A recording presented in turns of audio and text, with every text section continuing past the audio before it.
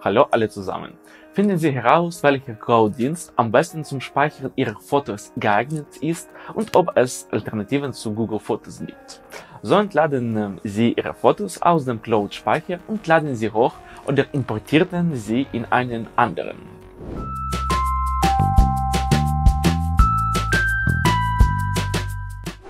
Liebe Freunde, wenn Sie gelöschte Daten wiederherstellen wollen, verwenden Sie die Programme der Firma Hetman Software. Folgen Sie dem Link aus der Beschreibung, laden Sie das Programm kostenlos herunter und installieren Sie es. Führen Sie dann die Festplattenanalyse durch. Nach der Analyse zeigt das Dienstprogramm die für die Wiederherstellung verfügbaren Dateien an und Sie können sie rückgängig machen. Unser Blog bietet kurze Tutorials zur Lösung von Problemen, die Windows-Benutzer haben. Auf unserem Kanal und im Blog finden Sie eine Lösung für jedes Problem. Beginnend mit der Installation des Systems bis zur Remote-Verwaltung und Verbinden mobiler Geräte. Unsere Experten beantworten gerne Ihre Fragen in den Kommentaren zu Videos und Artikeln. Der Cloud-Speicher wird zunehmend als persönliches Archiv für Foto- und Videoinhalte genutzt, deren Qualität proportional zur Auflösung der Smartphone-Kamera steigt. Da der Gerätspeicher begrenzt ist, ist es einfacher, alle Daten in der Cloud zu speichern und ständig Zugriff darauf zu haben. Wenn Sie Google-Dienste nutzen, sollten Sie wissen, dass das Unternehmen angekündigt hat, an dem 1. Juli 2021 keinen kostenlosen übergrenzten Speicherplatz mehr für Google-Fotos zur Verfügung zu stellen.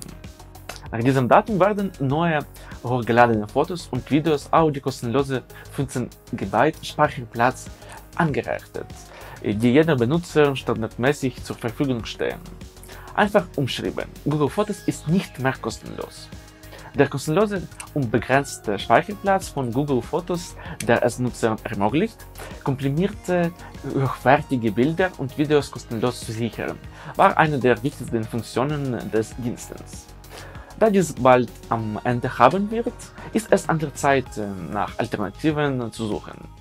Wir haben die folgenden besten Alternativen zu Google Fotos ausgewählt. Beachten Sie jedoch, dass keine App perfekt ist. Nach Recherchen sind wir zu dem Schluss gekommen, dass es keine komplett kostenlose Cloud-Dienste gibt. Jeder von ihnen stellt regelmäßig ein paar bis ein Dutzend kostenlose Gigabyte zur Verfügung. Mega. Mega ist ein beliebter Cloud-Speicherdienst, der 50 GB kostenlosen Speicherplatz für jeden Konto bietet. Äh, leider gilt dies in, nur für den ersten Monat, danach schrumpft es auf 15 GB. Obwohl dies immer noch eine beträchtliche Menge an freien Speicherplatz ist, immer noch nicht genug. Sie können Benutzerspeicherplatz erhalten, indem Sie andere Benutzer einladen und einfache Angabe erledigen, aber diese Boni sind temporär. Mega hat einen der größten kostenlosen Servicepläne auf dem Markt und die kostenpflichtigen Pläne sind nicht billig.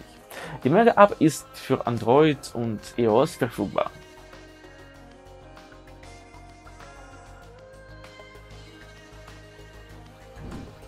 Dego.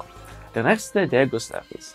Der Dego-Dienst ermöglicht es Ihnen, Ihre Dateien in der Cloud zu speichern und Ihre Fotos, Dokumente und Videos zu sichern. Es stehen 100 GB kostenloser Cloud-Speicher zur Verfügung, es gibt Webzugang und Apps für Windows und Android. Das kostenlose Konto von Diego enthält die meisten der verfügbaren Funktionen, hat aber einige Einschränkungen, die diese sind. Kapazität 100 GB, kostenloser Cloud-Speicher, Upload-Limits, Sie können maximal 50 äh, Dateien pro Anfrage hochladen, maximale Größe Hochladen von Dateien bis zu 4 GB, Geschwindigkeitsbegrenzung nur bei Überschreitung intensiver Nutzergrenzen. Die Dego-Apps sind für Android-Smartphones und Tablets verfügbar. Um 100 GB Cloud-Speicher zu erhalten, müssen Sie nur die App auf Ihrem Handy installieren und sich anmelden.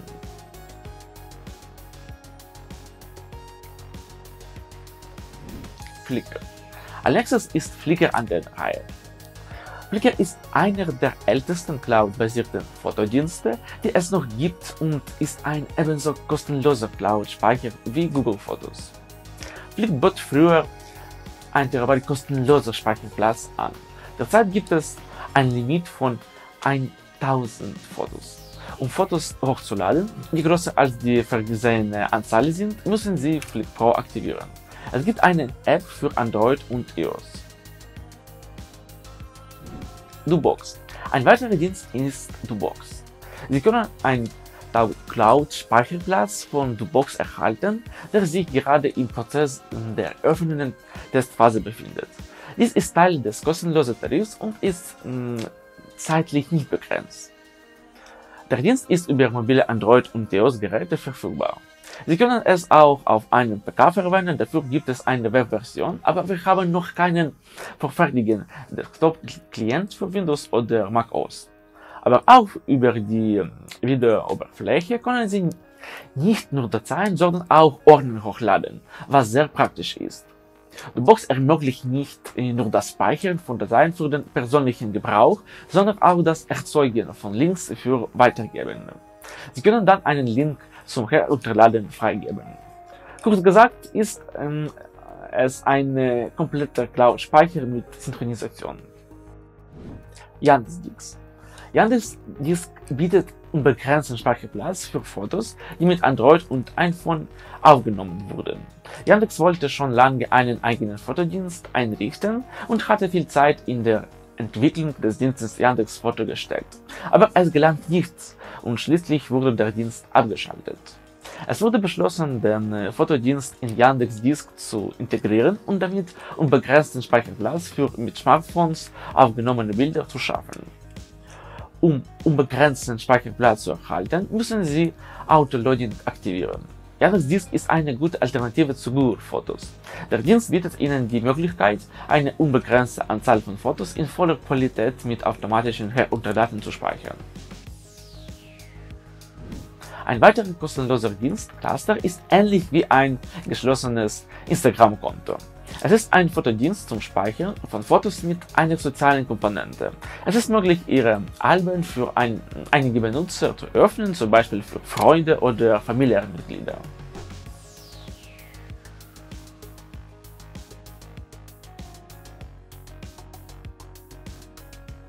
Ihr Menüband zeigt Fotos aus den Alben aller Benutzer an, die Sie markiert haben oder denen Sie Zugriff gewährt haben. Es ist nur die mobile Version der App verfügbar, auf dem PK nur im, im Browser. Wenn Sie sich nicht ähm, ausschließlich auf die Cloud verlassen möchten, kaufen und konfigurieren Sie ein NAS. Manche betrachten jeden Cloud-Service als temporär. Es ist nur so lange gültig, wie Sie eine ähm, Abogebühr bezahlen und solange der Service angeboten wird, kommen und gehen viele solche ähm, Speichereinrichtungen. Eine dauerhafte Option ist die Anschaffung eines eigenen Hardware-Speichers. Sie können ein leistungsstarkes NAS-Laufwerk mit hoher Kapazität kaufen, das sich mit dem Internet verbindet, um Ihnen den Zugriff auf Ihre Fotos im World Wide Web zu ermöglichen und Ihnen so den gleichen Komfort wie bei einem reichen Cloud-Dienst zu bieten. Für zusätzliche Sicherheit sollten Sie sich ein Gerät zulegen, das Gerät unterstützt, sodass Sie ein, einen Ausfall einer Festplatte nicht an alle Ihre Fotos ähm, verlieren. Bevor Sie Ihren Cloud-Speicher für Fotos ändern, müssen Sie wissen, wie Sie sie von Google Fotos auslagern und zu einem anderen Dienst übertragen können. Die erste Möglichkeit ist, alle Fotos herunterzuladen und einen anderen Speicher hochzuladen. Öffnen Sie dazu die Anwendung Google Fotos auf Ihrem Handy, öffnen Sie das Menü Google Konto verwalten. Gehen Sie dann auf die Registerkarte Daten und Personalisierung und scrollen Sie die Herunterladen, Löschen und Planen und klicken Sie hier auf Daten herunterladen und der Google Archivator wird geöffnet. Damit können Sie die Daten in Ihrem Google-Konto exportieren, um sie zu sichern oder in einem Dienst einen Drittanbieter zu verwenden. Als nächstes müssen Sie die zu exportierenden Daten auswählen, ein Häkchen neben Google Fotos setzen, nach unten scrollen und weiterklicken. Dann müssen Sie die Empfangsmethode auswählen. Aus dem Link zur Festplatte hinzufügen, zu Dropbox hinzufügen, zu OneDrive hinzufügen, zu Box hinzufügen. Gehen Sie Typ und Größe an. Dateien, die größer als die angegebene Größe sind, werden in, werden in mehrere Teile aufgeteilt. Nachdem Sie den Dateityp, die Periodizität, die Größe und den Speicherort ausgewählt haben, klicken Sie auf Export erstellen und dann beginnt die Vorbereitung der Dateien. Dieses Programm kann mehrere Stunden oder sogar Tage dauern. Wenn alles fertig ist, erhalten Sie eine E-Mail. Danach müssen Sie nur noch äh, das fertige Archiv mit Ihren Fotos aus dem neuen Speicher hochladen. Also, wir haben ein paar alternative Dienste für Google Fotos ausgewählt. Jeder von ihnen hat seine Nachteile, aber es gibt auch Vorteile. Die Haupttendenz, die ich bei meinen Recherchen herstellen konnte, ist, dass kostenlose Dienste mit der Zeit entweder geschlossen oder kostenpflichtig werden. Es gibt zwar Cloud-Speicher mit unbegrenzten kostenlosen Speicherplatz für Fotos, aber bei einigen davon müssen Sie für einen Premium-Account bezahlen, um maximale Privatsphäre und Sicherheit zu gewährleisten. Wenn keiner der vorgestellten Dienste für Sie nicht geeignet ist oder Sie eine bessere Alternative zu Google Fotos kennen, teilen Sie sich in den Kommentaren mit. Und das ist alles. Ich hoffe, dieses Video hm, war für Sie nützlich.